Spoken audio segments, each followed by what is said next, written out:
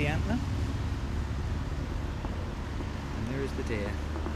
Oh. Pop pop. So he's having trouble holding his head on one side. So it's quite a good antler actually.